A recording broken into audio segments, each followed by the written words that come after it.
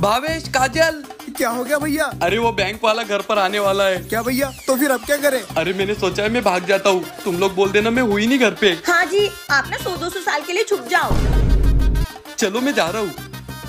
ओए ओए कहाँ घुसा चला रहा है? अबे ओए वो गोलू को बुला मैं बैंक से आया हूँ। बैंक से? दो मिनट। भाभी वो बैंक वाला आया है। देवर जी उसको ना अंदर बुलाओ उससे तो अपन निपटते हैं। हाँ मैं ही बोलूँ आ जाओ अंदर। तुम लोगों ने लोन का पैसा नहीं दिया है? काय का पैसा? कौन सा पैसा? हम नहीं देंगे कोई पैसा। अरे बहन जी अपन बैठ के सेटलमेंट कर लेते। आप आधा पैसा दे दो। कोई आधा पैसा नहीं मिलेगा। हमारे पास पैसे ही नहीं है। तो फिर लोन लेते क्यों? साले गरीब। गरीब किसको बुला रहे हो? वाह भाभी। अगर तुमने पैसे नहीं दिए ना तो तुमको जेल हो जाएगी। हाँ जाओ कर दो केस। गोलू बेटा अब जेल में मिलते हैं।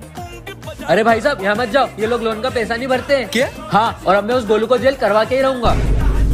क्यों भाई क्या किया तूने? जो जेल जाने की नौबत आ रही है। भैया लोन भरने से तो अच्छा है कि पाँच साल जेल में काटो। देखा भैया मेरा माइंड कितना शार्प है। आप बताओ कैसा लगा मेरा प्लान